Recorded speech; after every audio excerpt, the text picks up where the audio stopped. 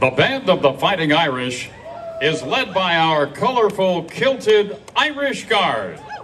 Formed in 1949 by then director H. Lee Hope, the Irish Guard are skilled marchers who are chosen for this honor on the basis of leadership, service, and spirit.